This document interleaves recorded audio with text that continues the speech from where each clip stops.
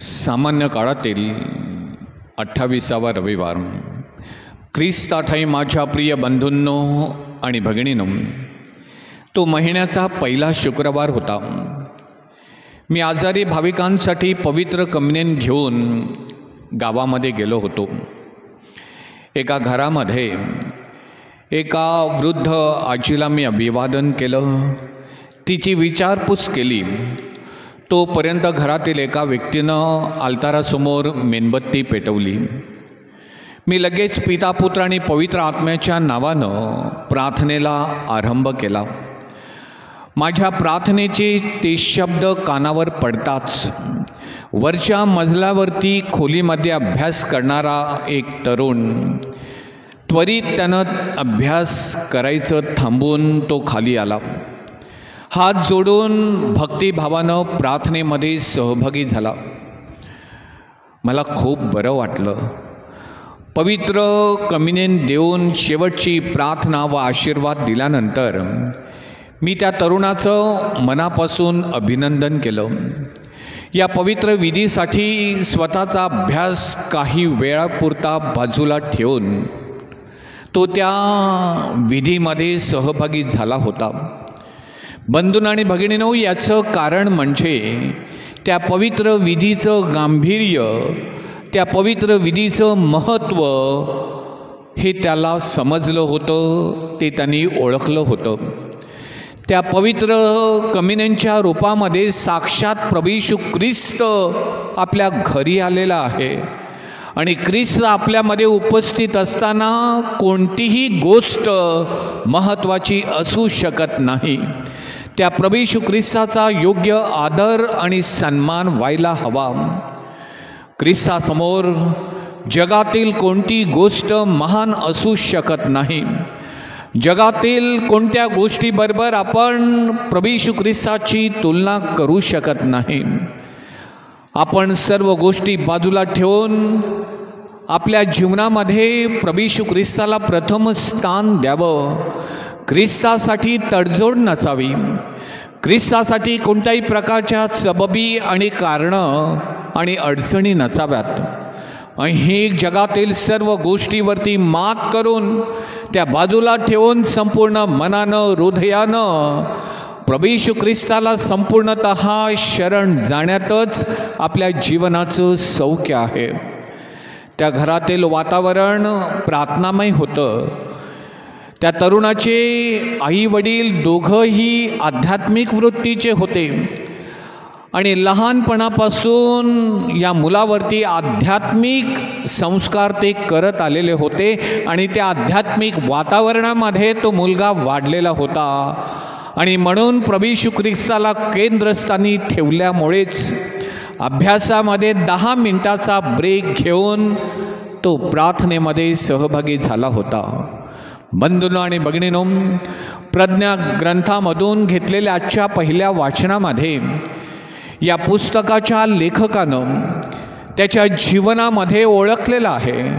त्या जीवनामध्ये त्यानं जाणलेलं आहे आणि त्याला कळलेलं आहे की प्रार्थना परमेश्वर आणि परमेश्वराविषयीचं ज्ञान हे जगातील सर्व गोष्टींपेक्षा सर्वश्रेष्ठ आणि सर्व महान आहे.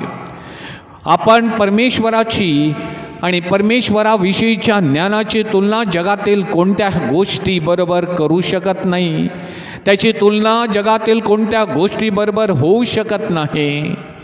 आजच्या पहिल्या वाचनामध्ये लेखक पुढे म्हणतो मी प्रार्थना केली आणि मला समज शक्ती समजून घेण्याची शक्ती प्राप्त झाली.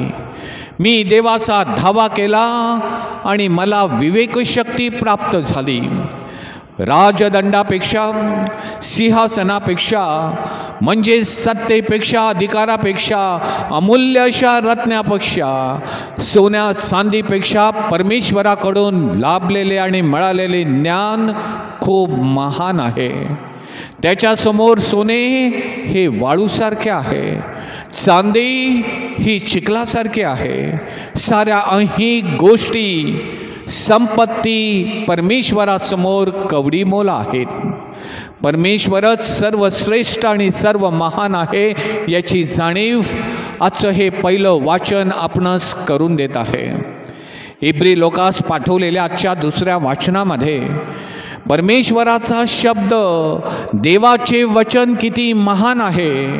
ते सजीव आहे ते जिवंत आहे ते सक्रिय आहे ते क्रियाशील आहे.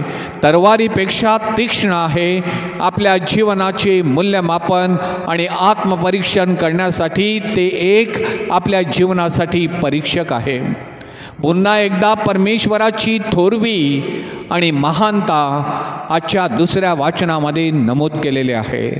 बंधून आणि भगिनीनो आजच्या शुभवर्तमानामध्ये एक श्रीमंत माणूस प्रभू ख्रिस्ताच्या जवळ येतो गुडघे टेकतो याचाच अर्थ प्रभू ख्रिस्ताला तो शरण जातो आणि ख्रिस्ताला विचारतो उत्तम गुरुजी सार्वकालिक जीवन मला वतन मिळावं म्हणून मी काय करू? सार्वकालिक जीवन मिळवण्यासाठी ज्या बेसिक मूलभूत गोष्टी आहेत चांगली वर्तणूक चांगलं आचरण चांगली वागणूक जोपासण्यासाठी जीवनाला वळण लावण्यासाठी ज्या ज्या गोष्टी आवश्यक आहेत गरजेच्या आहेत त्या जीवनाउपयोगी दहा आज्ञेविषयी सर्वप्रथम प्रभू ख्रिस्त त्याला सांगतो. श्रद्धेच्या प्रवासामध्ये त्या परमेश्वराच्या आज्ञेंचं पालन करणं हा पहिला टप्पा आहे. ही एक सुरुवात आहे आरंभ आहे. हे केल्यानं आपल्या सार्वकालिक जीवनाच्या प्रवासाला सुरुवात होईल. दहा आज्ञा. तो तरुणपणापासून पाळत आलेला आहे. हे कळल्यानंतर प्रभू ख्रिस्ताच्या शुभवर्तमानामध्ये त्या श्रीमंत माणसाकडे निरखून पाहतो. कदाचित त्या वेळेमध्ये प्रभू ख्रिस्तानं त्याचं मूल्यमापन केलं असावं. आणि खरोखर हा माणूस त्या वृत्तीचा आहे हे पाहून प्रभू ख्रिस्ताला देखील बरं वाटलं असावं. स्वर्ग राज्यामध्ये त्याला आणखीन मानाचं आणि गौरवाचं स्थान मिळावं. आणखीन तो परमेश्वराच्या जवळ यावा. प्रभू ख्रिस्ताच्या जवळ राहावा. त्याची आध्यात्मिक प्रगती आणि उन्नती व्हावी. श्रद्धेत आणि विश्वासामध्ये परिपक्वता यावी. तो सर्व काही सोडून आपल्या मागे आला तर आपल्याला त्याचा लाभ होईल. श्रद्धा बांधणीच्या कार्यामध्ये त्याला सहभागी करून घेता येईल. या आशेनं या अपेक्षेनं प्रभू ख्रिस्त आजच्या शुभवर्तमानामध्ये त्याच्यासमोर एक प्रस्ताव ठेवतो. तुझं असेल नसेल ते विकून गोरगरिबांना देऊन टाक आणि माझ्या मागे ये. म्हणजे स्वर्ग राज्यामध्ये तुला त्याचा मोबदला तुला त्याचं प्रतिफळ मिळेल. प्रभू ख्रिस्ताचा हा प्रस्ताव ऐकून त्याचं तोंड उतरलं. आणि कष्टी होऊन तो प्रभू ख्रिस्ताला सोडून निघून गेला.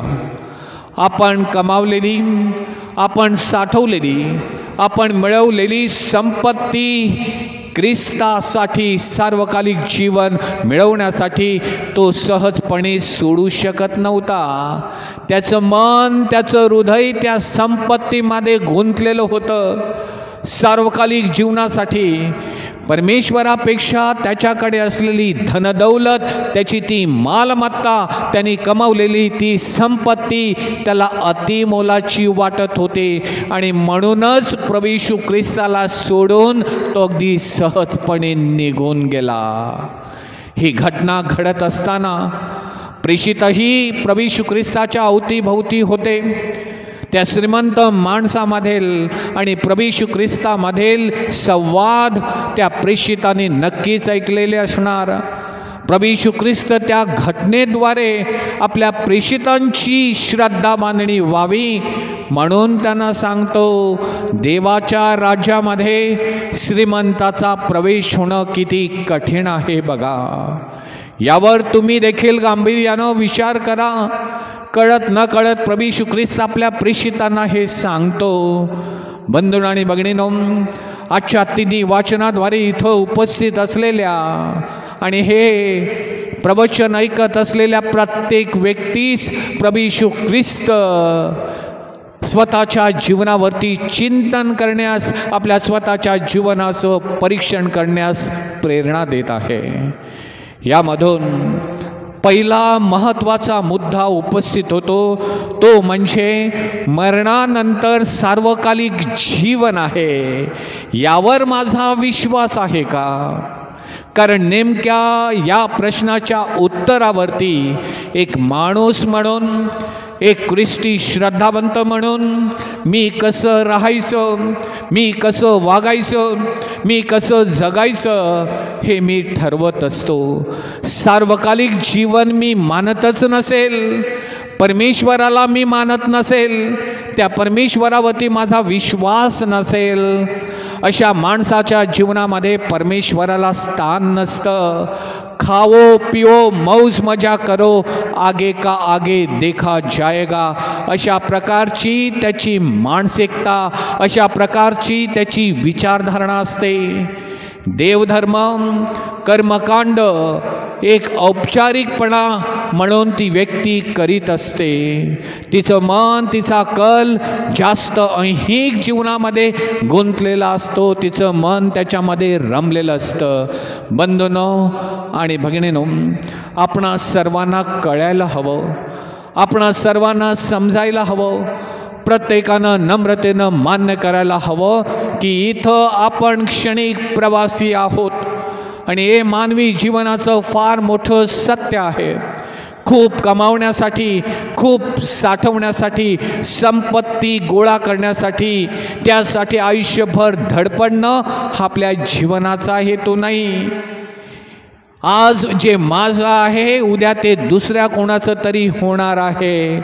आज सातबाऱ्याच्या उतार्यावरती माझं नाव आहे उद्या ते डिलीट होणार आहे. सार्वकालिक जीवन हे आपल्या जीवनाचं अंतिम ध्येय आहे. ते प्राप्त करण्यासाठी आपण प्रामाणिकपणे प्रयत्न करावे.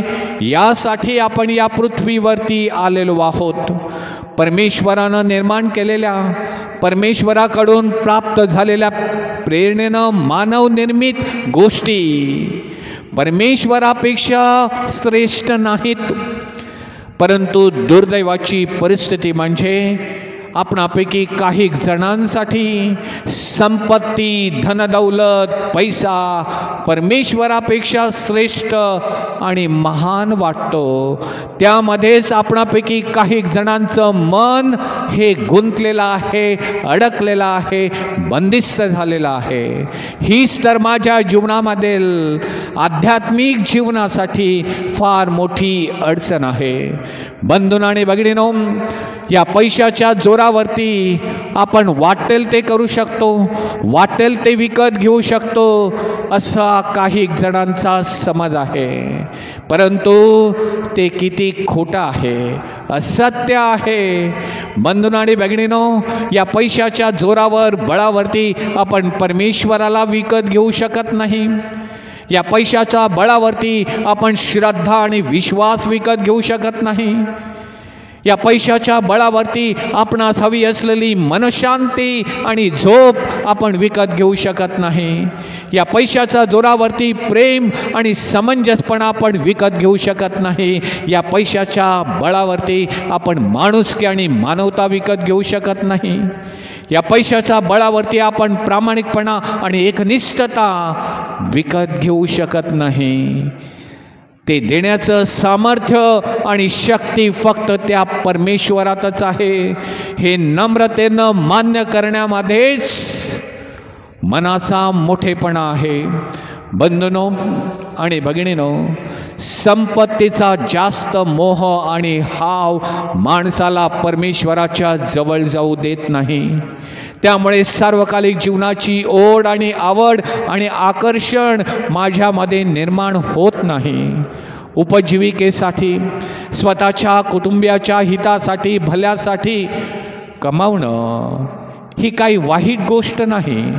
परंतु प्रभू ख्रिस्ताला धिक्कारून प्रभू ख्रिस्ताला नाकारून क्रिस्ती मूल्यांकडे दुर्लक्ष करून आध्यात्मिक जीवनाकडे दुर्लक्ष करून चोवीस तास धनदौलतीच्या मागे लागणं मागे धावणं हे बरोबर नाही. दुसऱ्यांना लुबाडून दुसऱ्यांना फसून दुसऱ्यांच्या घशातून काढून ते आपल्या खिशामध्ये घालणं आणि गरज नसताना सुद्धा द्रव संचय करीत राहणं हे सभ्यपणाचं लक्षण नाही. तर मानवामध्ये निर्माण झालेली ती एक विकृती आहे. बंधून आणि बघणेनो वेळ येईल गरज भासेल जेव्हा परिस्थिती तशा प्रकारची निर्माण होईल तेव्हा परमेश्वरानं मला जे काही दिलेलं आहे ते मोठ्या मनानं दुसऱ्यांच्या हितासाठी दुसऱ्यांच्या भल्यासाठी देण्यातच खरा मानवी धर्म आहे. शेजाराचा जीव भुकेनं कासावीस असताना माझ्या घरची धान्याची कोठारे भरून ठेवणं हा अधर्म आहे.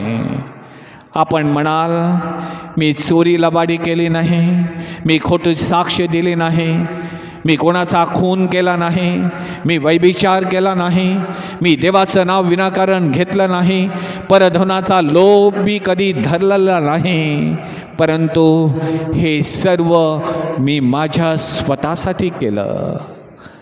परंतु प्रश्न आहे हे सगळं स्वतःसाठी करत असताना मी दुसऱ्यांच्या हितासाठी परमेश्वरानं मला जे दिलेलं आहे त्यामधून जनकल्याणासाठी जनतेच्या उद्धारासाठी मी काय केलं यावर आधारित माझ्या जीवनाचं मूल्यमापन होणार आहे. आमेन.